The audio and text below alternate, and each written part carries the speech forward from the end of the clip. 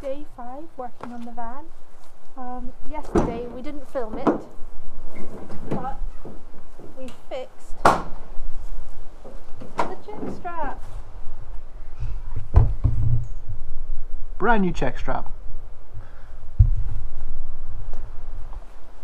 Today we are going to be fixing bodywork.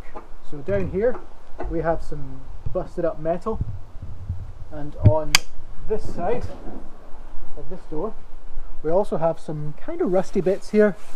Um, we just don't them we here. just don't need rust on this thing at all. So we're going to buff that up and fill in any holes and gaps with fiberglass. Then prime it, paint it, and we should then have an intact car body, van body. Got some other pieces here. We don't really know what that is. That could just be split paint. That could be split metal. We will find out. Bright. These are the bits over here that he was referring to. It's not looking good just now. Some up here as well. Some splits and things. But it's fine. Hopefully, we're going to get that all fixed today. We think we know what we're doing. We're going to buff it up. He says with confidence. Yeah, I'm totally confident. Totally know what I'm doing. I've seen YouTube videos on this. yeah, we're gonna buff it up, get it prepared, cover cover the thing over with fiberglass, and then that's it fixed. We've got um, University of YouTube degrees, so we're ready to go. We are.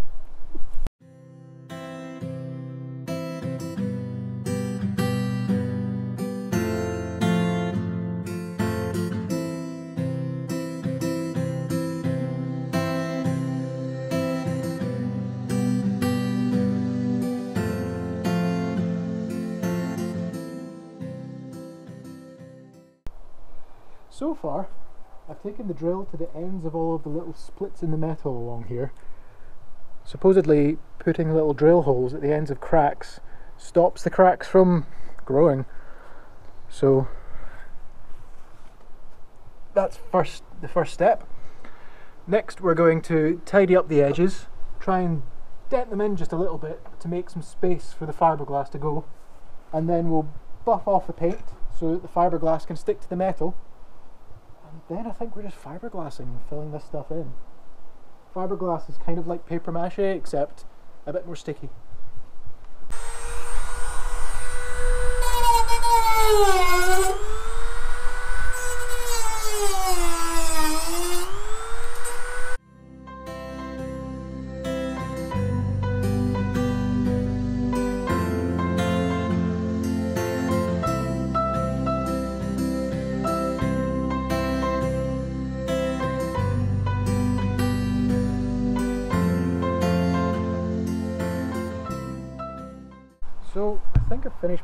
Dremeling. I was just trying to take off the sharp edges. Next is nothing. Safety first. Safety always first. Let's see how this goes.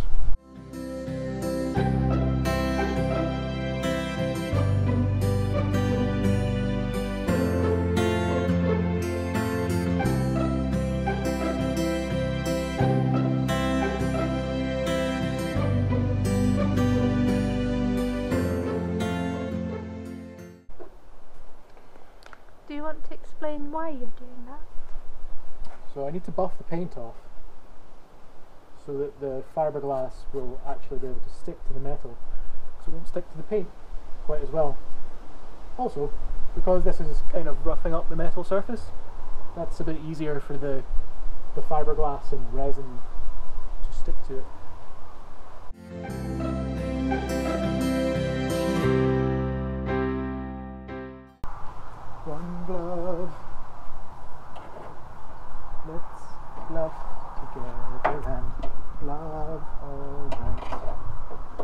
One glove. Oh, I could be making it worse. Yeah, don't be I'm trying to bend this thing inwards, not outwards. My problem is this little guy of metal here. I'm going to take a Alright, uh, screwdriver to it.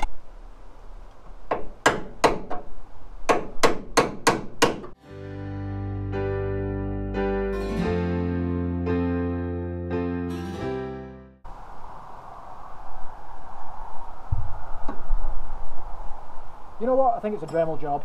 I think it's a Dremel job. Gloves, check. Glasses, I think so. visor. I can't see the glasses. I can't see the visor.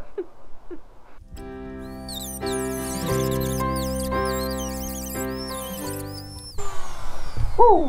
Hope we don't need to do this again because that Dremel is worn down. And that's the last disc. Somebody broke it.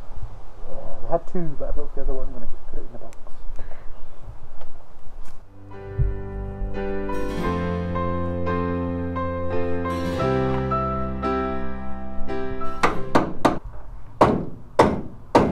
I'm not going to cut all of this thing because that's a massive big flap and it'll make a massive big hole. So I'm just going to bend bits in, and then that will make space for the new bit of fiberglass that goes over the top, and then we can just fill in the gap with fiberglass.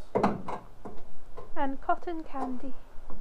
I mean, if you want, but that's up to you, and it might not work very well. Do you think candy floss would work as insulation? That's a good question.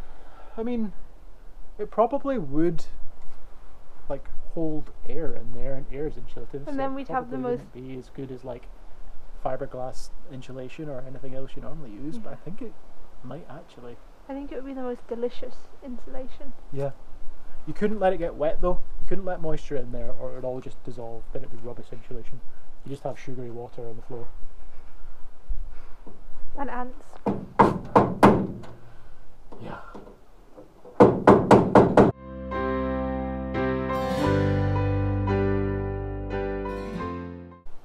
I think we're good there. It looks pretty horrendous, but I trust you. But we'll fill it in, and it will be fine.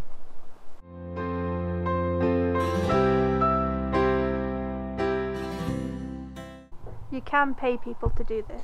But it's very expensive. Yep. Don't don't attempt this yourself. It'd We spent about twenty pounds on the fiberglass kit, and then we get to fill in the hole ourselves. I think if you have the money to pay someone to do it, Yeah, it's probably you're gonna get a better job if you pay someone to do this. well, we'll see how it turns out. As long as this thing's sealed up, it's all good. Plus, it's on the inside of the door. Yeah. There's no inside of door van beauty contests that we're aware of, anyway. There might be somewhere. Well, we're certainly not running for that. We're running for nice van overall. We're running for a van that doesn't leak, I think. Ah, that's going to be a really good award to get. And for the least leaky van, this big yellow thing.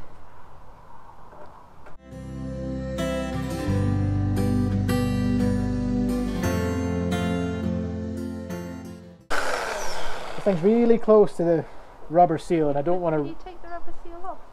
I think it's glued on.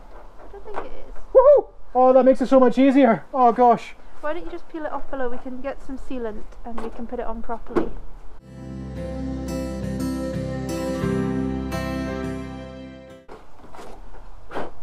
That's certainly improving. We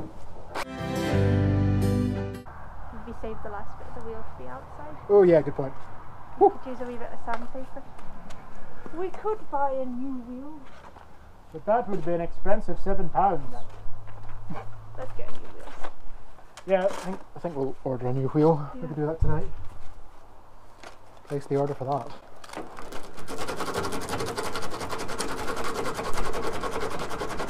We probably won't even need it again after this, but just who knows. That's so good. That's why we haven't ordered a new wheel because we're like, oh, it's so close. Probably won't need it again. Are there other things we could use it for. Like brushing my teeth. Yeah, you could give yourself a filling. Carve the turkey at Christmas. Stroking the cat. Should have a really fluffy, ruffled coat. Get one of those car buffers for her and kind of.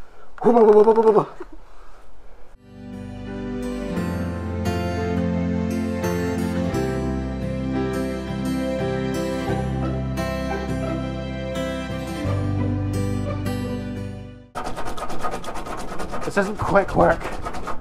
Do you want me to do some of that? I would love it if you could do some of Or this.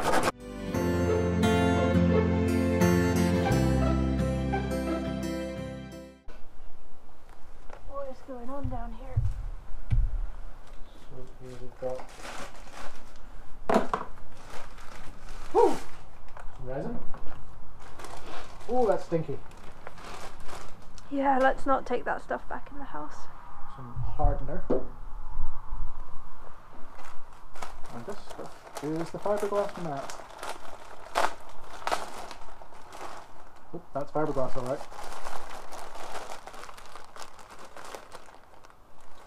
You're meant to chop this up and I think you're little. supposed to wear gloves for that. Are you? That makes sense, yes. Glass fibre. Yeah, don't get that in your fingernails. You'd be Um, like Edward Scissorhands. Edward fiberglass hands. So I'll get some scissors, we'll chop that up, we'll mix up some hardener, and then I think we just get going. Percent, two and a half, three percent rolling for this. So Scott's mixing the resin just now. Not sure how much of this we'll actually need. For that amount, I don't want to use all of this stuff. Probably best to use a smaller amount to begin with, and then mix some more. Ooh, that stuff is strong. Don't be sniffing it. I think that's illegal.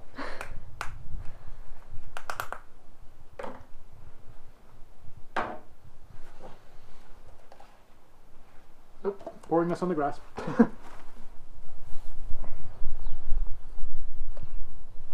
think I'll get about 100, and- 100 mils, 150 mils. What do you think? 150.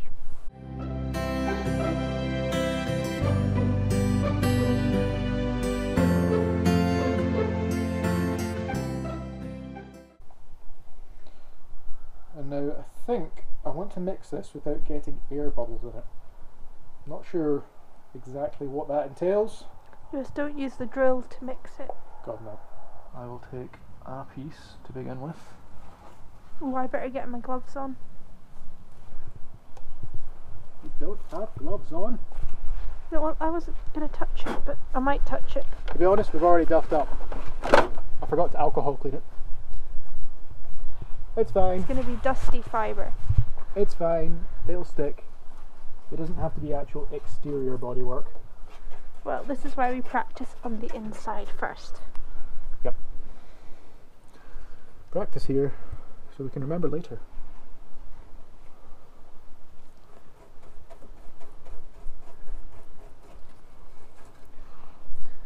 I have to try and get this fiberglass matting really saturated.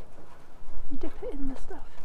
Well, that's one. I did see that on one video. Someone did. They would. Someone said they would dip the stuff in. But another video, I saw a dude saying that dipping it in makes it very messy and difficult to handle. So, um, I kind. I suppose it's Well, kind why of. don't we try it both ways and then we can say which is the right way? I suppose we can. So, round one, no dip. How's it going? Controlled. Quite like it. Gotta say. N- So far, non-dip is winning. Haven't. Obviously, we haven't tried the dip. I'm not too fussed about trying the dip actually because that's quite good.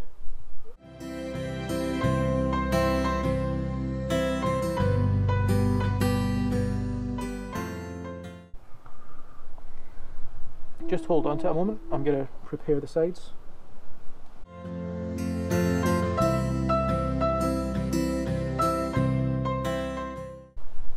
Think this is my favourite fixing of the van thing so far. Cleaning was hard work. Cleaning was really hard actually. Fixing the check strap was really annoying. Well, you got annoyed. I was fine with it.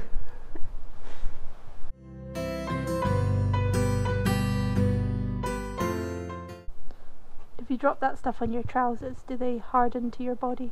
Yeah, then I can never ever take my trousers off. Yeah.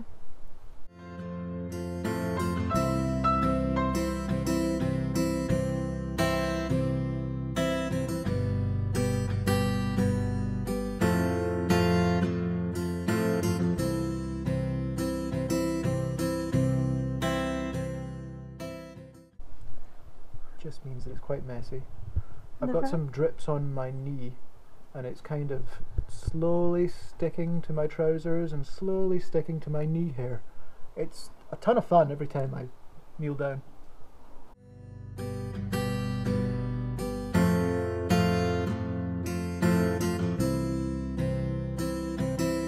So, that's the fiberglass layer one done.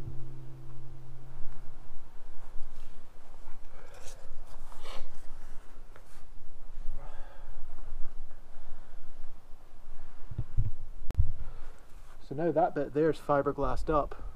We're going to buff this thing down, see what the metal looks like behind it. If it even is metal, who knows? Someone might have fiberglassed it before. But let's find out.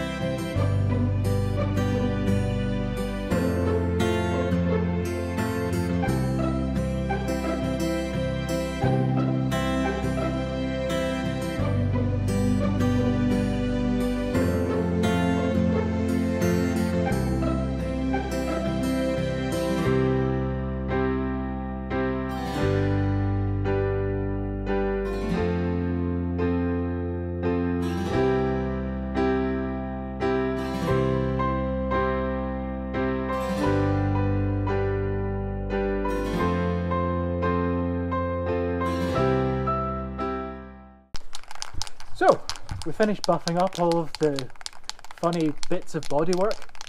Luckily, this bit here looks like it just had some funny surface rust going on, so we've cleaned that up, and we've we're now planning to prime it. That's what this is. We're going to spray this on.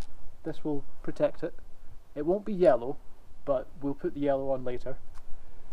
We have this paper here to protect bits that we don't want to paint. I think it's just a job of painting that. I read that you're meant to one use a face mask. Don't have one. I reminded Scott at this point that we are in the middle of COVID season. He does indeed have several face masks, and he should go and get the face mask and put it on. You're also meant to test your paint before you spray on the bodywork to make sure it's coming out nice and smooth. We're a bit pushed for time because the sun is setting. So I'm pausing here to explain our surprise when we realised we'd somehow accidentally ordered yellow primer, which is the colour we needed. Huh. That is yellow. I didn't realise the filler primer was going to be that colour. Are you sure that's the primer? Yeah, it says filler primer. Yeah, and it's yellow. Yellow? Or kind of burnt umber. Oh, wow.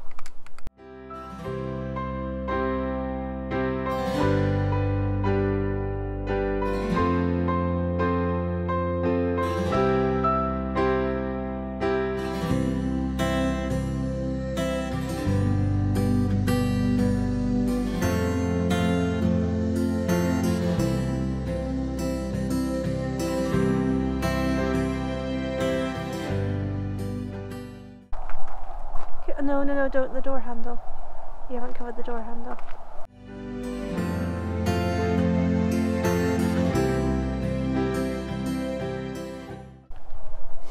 Doesn't look terrible. Doesn't look great either. Let's give this stuff around here another coat.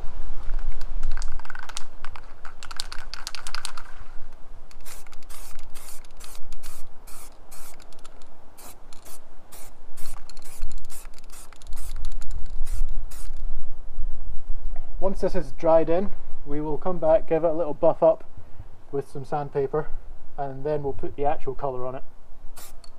That said, this looks okay. This stuff we're using is a filler primer. The idea is that it's a paint that's quite thick, so should one protect the metal and two, fill in any little gaps.